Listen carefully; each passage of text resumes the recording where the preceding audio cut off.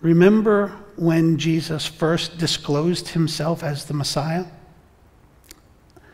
Those of you that have walked through the gospel with us, he did it to the Samaritan woman at the well.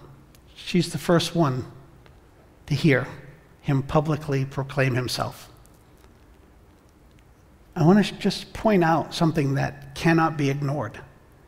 Jesus first announces himself to somebody that is considered very much an outcast, a woman, somebody whose reputation is not good, whose reality is not good. And in his day, to reveal and to put such weight in the witness of a woman was absolutely shocking. You would never, ever do it this way.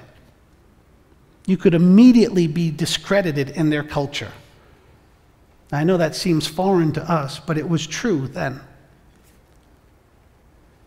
Jesus uses unlikely witnesses all the way through his ministry.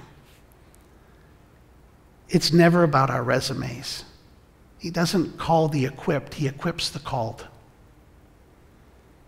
It starts with him initiating, us responding, yes, Lord, and then his miraculous infilling.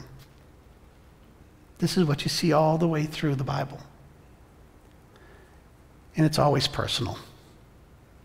Abraham, yes, Lord. Saul, why are you persecuting me? Yes, Lord. Mary?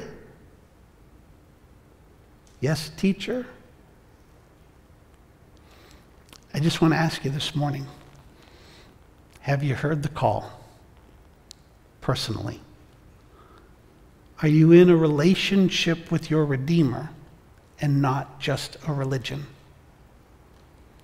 It's very, very easy to get attached and even make commitments to and demonstrate a resume building set of activities in church and attached to religion that have nothing to do with being in Christ or having been redeemed.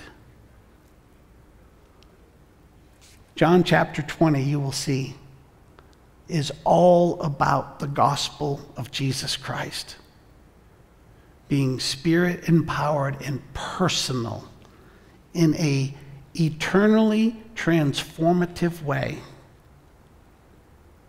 for the purpose of bringing God glory through the sharing of his gospel.